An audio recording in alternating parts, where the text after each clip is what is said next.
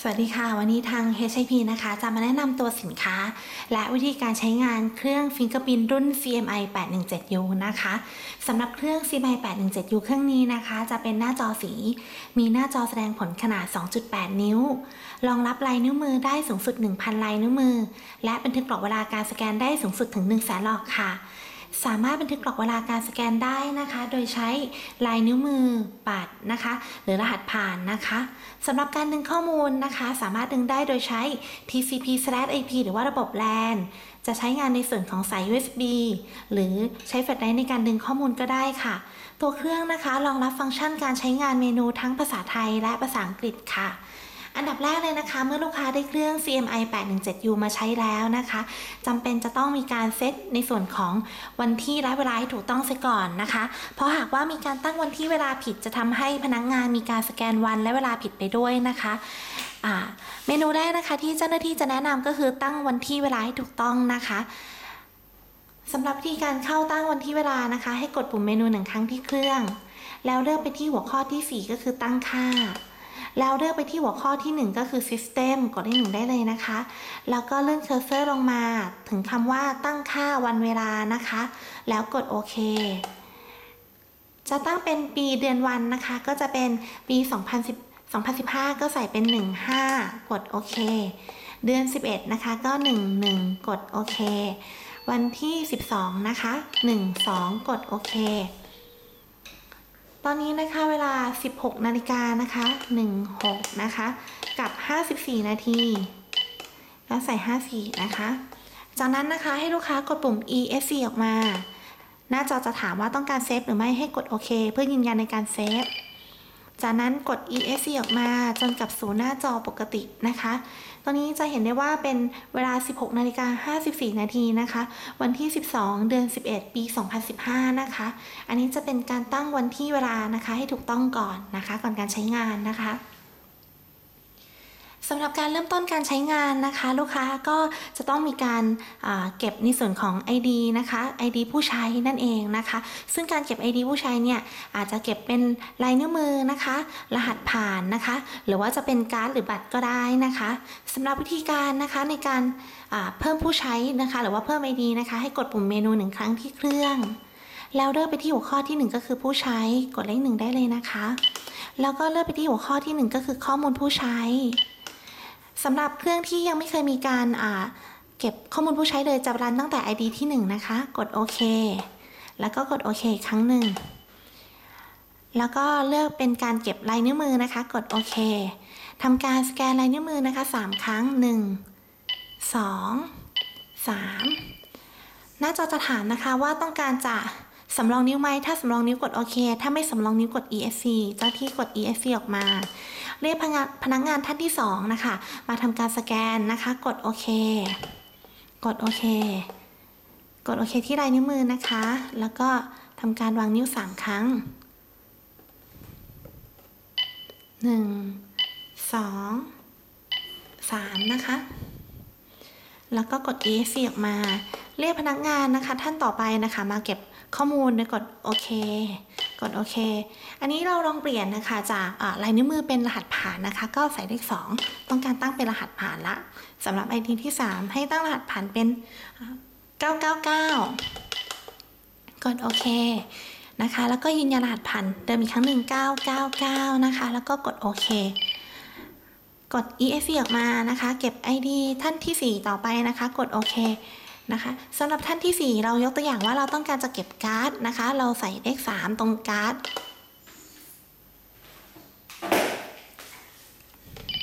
นำการ์ดมาทามนะคะ แล้วก็กด ESC ออกมานะคะ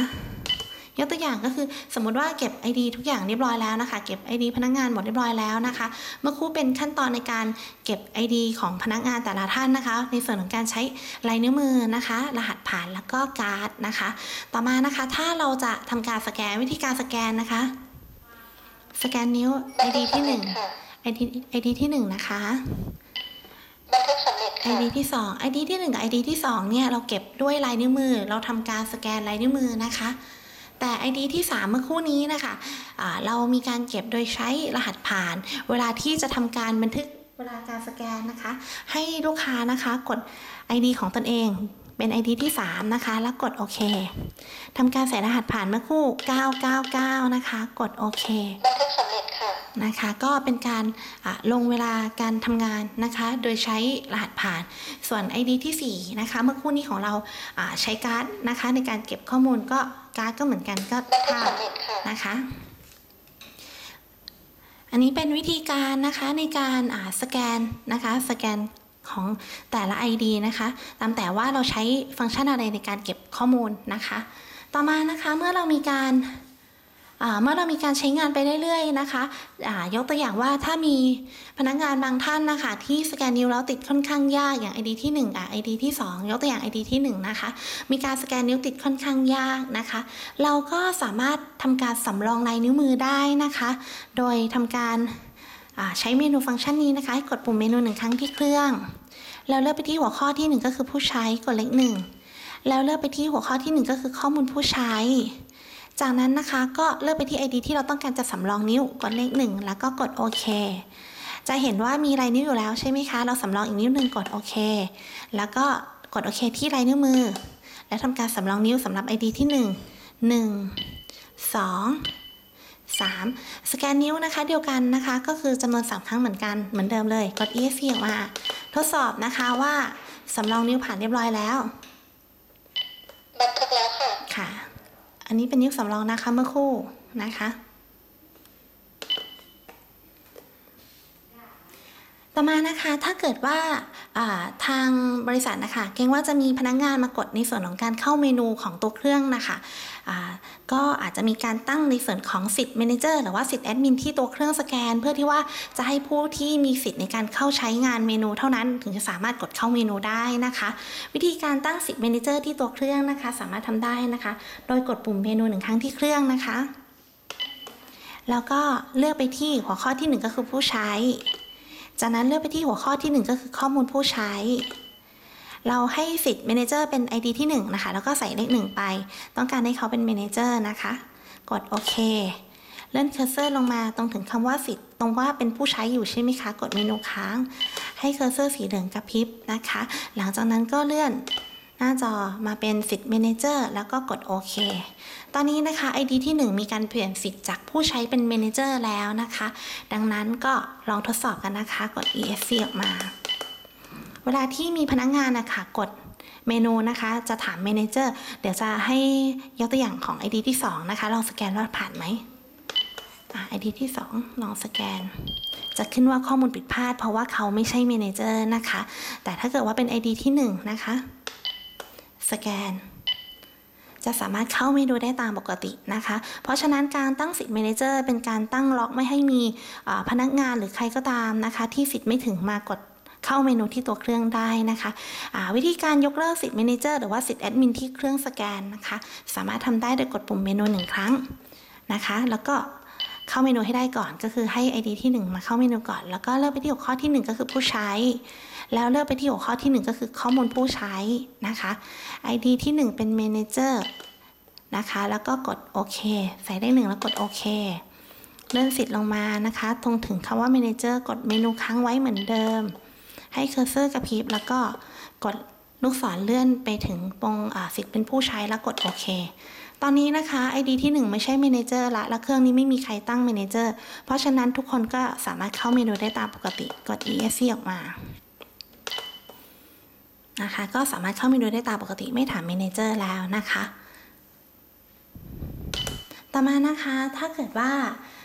ทางลูกค้านะคะต้องการจะลบในส่วนของข้อมูลผู้ใช้นะคะ ก็สามารถลบได้ การลบข้อมูลผู้ใช้จะมีอยู่ 2 วิธีก็คือ 1. ลบข้อมูลผู้ใช้ทีละคนนะคะ ทีละ ID นะคะ กับ 2 ก็คือลบข้อมูลผู้ใช้ทั้งหมด การลบข้อมูลผู้ใช้ทีละ ID นะคะ ส่วนใหญ่จะเป็นลักษณะที่ว่าพนักงานมีการลาออกไปแล้วก็จะลบ ID ของพนักงานที่ลาออกไปนะคะทีละทีละ ID นะคะ ส่วนการลบข้อมูลผู้ใช้ทั้งหมด จะเป็นในกรณีที่ว่าต้องการจะเคลียร์ข้อมูลของตัวเครื่องนะคะ ให้ ID ทั้งหมดหายไป แล้วก็ทำการเก็บลายนิ้วมือใหม่นั่นเองนะคะอ่าสำหรับวิธีนะคะในการลบสิทธิ์นะคะ ผู้ใช้แต่ละ ID นะคะก็คือทีละคนนั่นเองค่ะสามารถทำได้โดยวิธีนี้นะคะ ยกตัวอย่างว่าเดี๋ยวเจ้าหน้าที่จะขอลบพนักงาน ID ที่ 2 นะคะ เนื่องจากว่าทาง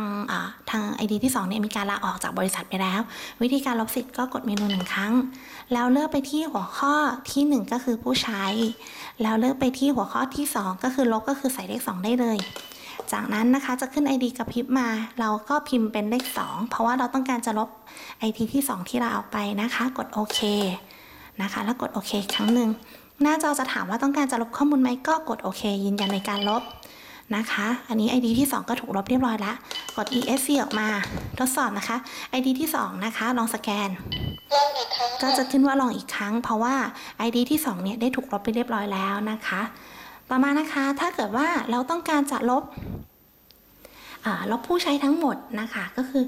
อสามารถลบได้นะคะ เดี๋ยวเจ้าหน้าที่จะแนะนำฟังก์ชันเมนูที่เข้าไป แต่ว่าเจ้าหน้าที่จะไม่กดลบนะคะ เพราะว่าจะขอใช้งานในส่วนของฟังก์ชันเมนูต่ออีกนะคะ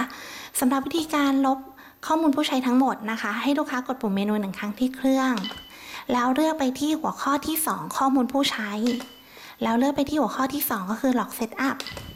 จากนั้นนะคะก็เลื่อนลงมาเลื่อน cursor ลงมากดลูกศรลงมาถึงคำว่า ลบข้อมูลผู้ใช้แล้วกดโอเคหน้าจอจะมีการถามว่าคุณต้องการจะลบไหมนะคะ ถ้าต้องการลบกดโอเคเลย แต่ครั้งนี้เจ้าหน้าที่ขออนุญาตไม่ลบนะคะ ก็ให้กด ESC ออกมานะคะ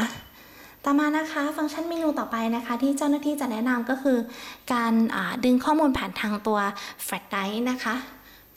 อันนี้จะเจ้าหน้าที่จะขอเรียกว่าเป็น flash drive นะคะ จะไม่ใช่ USB นะคะ เพราะ USB อะค่ะ เจ้าที่จะใช้อีกตัวนึงก็คือจะเป็นสาย USB นะคะ เพื่อที่ว่ากันกันจะได้ให้ลูกค้าไม่สับสนนะคะ ก็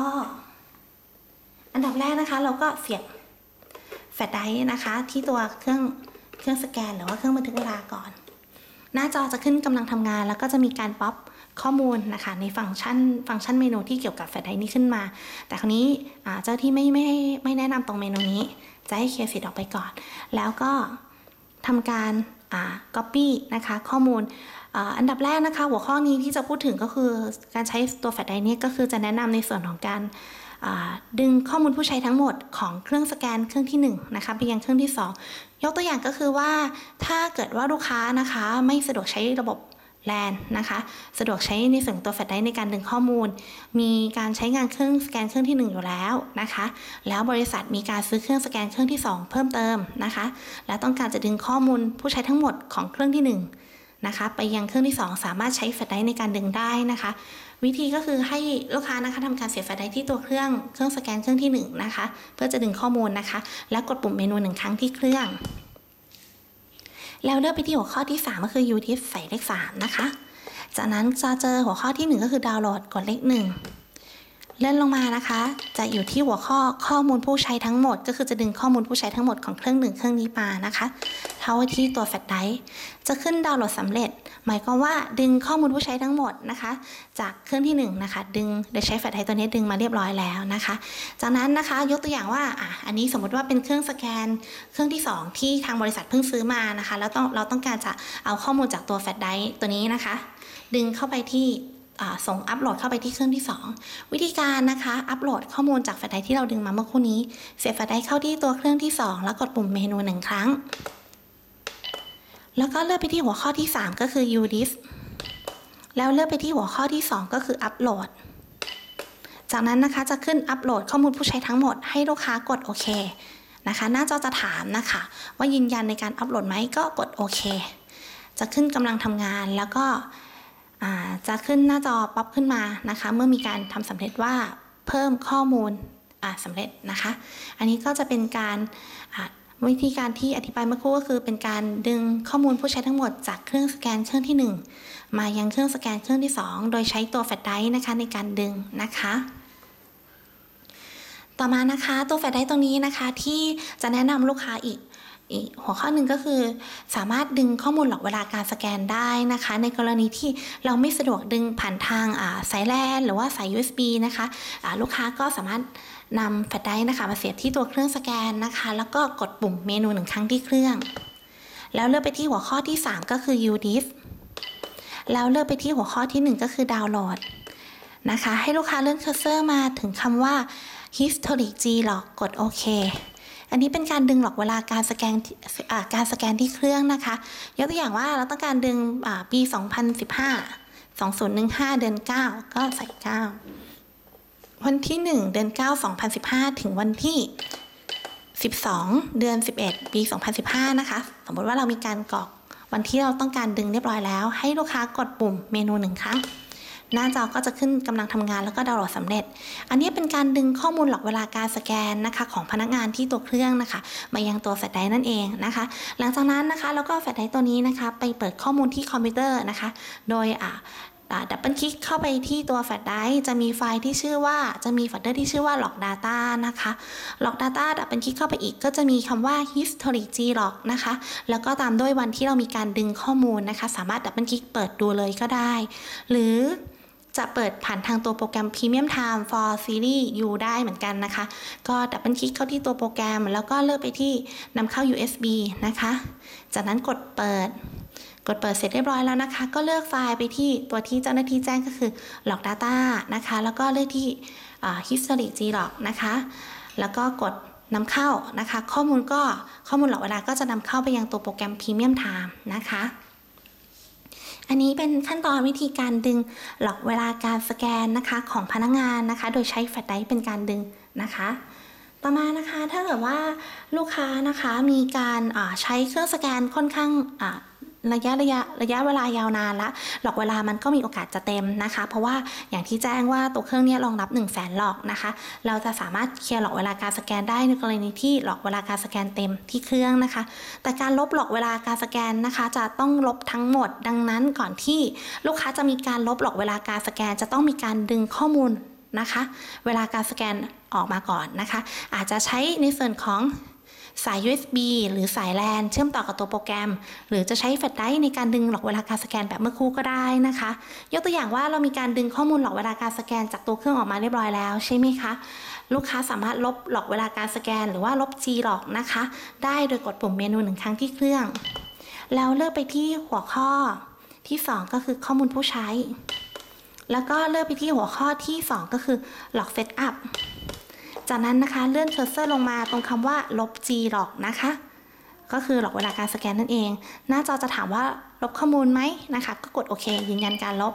นะคะ ถ้าขึ้นแบบนี้นะคะแสดงว่าเราลบ log เวลาการสแกนเรียบร้อยแล้ว แต่การการลบเนี่ยก็คือลบทั้งหมดนะคะ ไม่สามารถลบได้แค่บางส่วนนะคะ ต่อมานะคะฟังก์ชันสุดท้ายที่เจ้าหน้าที่จะพูดถึงก็คืออฟังก์ชันการตั้งค่าเชื่อมต่อกับ ตัวระบบแลนนะคะ หรือว่าสายแลนสายแลนนั่นเองนะคะ ตอนที่ลูกค้ามีการซื้อเครื่องมานะคะ จะมีแผ่น CD นะคะ แผ่นโปรแกรมนะคะไว้ก็คือเป็นโปรแกรม Premium Time for Series U นั่นเองนะคะ เมื่อลูกค้ามีการลงโปรแกรมเข้าที่ตัวเครื่องคอมพิวเตอร์เรียบร้อยแล้วนะคะ ต้องการเชื่อมต่อผ่านทางระบบแลนนะคะจำเป็นจะต้องมีการเพิ่มเครื่องนะคะ หรือว่าสร้างเครื่องเป็นเครื่องรุ่น CMI 817U ก่อนนะคะ ตอนที่มีการกรอกในการเพิ่มเครื่องตรงนี้นะคะ จะต้องมีการกรอกข้อมูลในส่วนของระบบแลนหากต้องการจะเชื่อมต่อผ่านทางแลน อาจจะต้องมาเช็คกับตัวเครื่องสแกน โดยกดปุ่มเมนูหนึ่งครั้ง แล้วเลือกไปที่หัวข้อที่ 4 ก็คือตั้งค่ากดเลข4เลือกไปที่หัวข้อที่ 2 ก็คือ com กดเลข 2 จากนั้นนะคะก็จะมาเช็คตรงนี้ค่ะ device ID คือหมายเลขเครื่องนะคะคือหมายเลข1 com key คือพาสเวิร์ดคือ0ก็คือไม่มีพาสเวิร์ดport number คือ 5500ก็คือพอร์ตนั่นเอง IP address นะคะ กดโอเคเข้าไปก็จะเป็น 192.168.1.225 ลูกค้าก็ทำการกรอกนะคะ ในส่วนของอหมายเลขเครื่องนะคะพาสเวิร์ดนะคะ แล้วก็รหัสอ่าโทษค่ะ หมายเลขเครื่องนะคะ รหัสผ่านพอร์ตแล้วก็ IP address ให้ตรงกับตัวโปรแกรมนะคะ หากเรามีการหากเรามีการเซตในส่วนของ ข้อมูลนะคะที่เจ้าที่อธิบายไปเมื่อครู่นี้ค่ะ กับตัวโปรแกรมตรงกันนะคะหมายเลขเครื่องหมายเลขพอร์ตหมายเลข IP address แล้วก็ในส่วนของรหัสผ่านนะคะ ตรงกันเรียบร้อยแล้วลองเชื่อมต่อดูว่าเชื่อมได้ไหมถ้าเกิดว่าลองเชื่อมต่อแล้วไม่สามารถเชื่อมต่อได้ รบกวนลูกค้าลองเช็คในส่วนของระบบแลนนิดนึงก็คือลองปิง IP ก่อนก็คือ พอปิงปุ๊บถ้ามีการปิงเจอนะคะ แสดงว่าระบบแลนไม่มีปัญหา ลองมาตรวจสอบอีกทีนึงว่า เราเซตในส่วนของข้อมูลที่ คอมพิวเตอร์นะคะ ในโปรแกรมที่คอมพิวเตอร์ตรงกับข้อมูลที่เครื่องสแกนไหม หากไม่ตรงก็ต้องอต้องเซตให้ตรงกันถึงจะสามารถเชื่อมต่อได้ แต่หาก ping IP นะคะ แล้วไม่เจอนะคะ ลูกค้าจะต้องมีการไปเช็คในส่วนของระบบแลนอาจจะเช็คสายแลนนะคะ เช็คระบบแลนก่อนให้ทาง IT ตรวจสอบเช็คนะคะเอตรวจสอบว่าว่าระบบแลนมีปัญหาไหมนะคะ ถ้าเกิดว่าระบบแลนมีการปิง IP เจอเรียบร้อยแล้วนะคะ แล้วเรามีการเซตการตั้งค่าถูกนะคะ ก็สามารถเชื่อมต่อได้ตามปกตินะคะะทั้งหมดนี้นะคะจะเป็น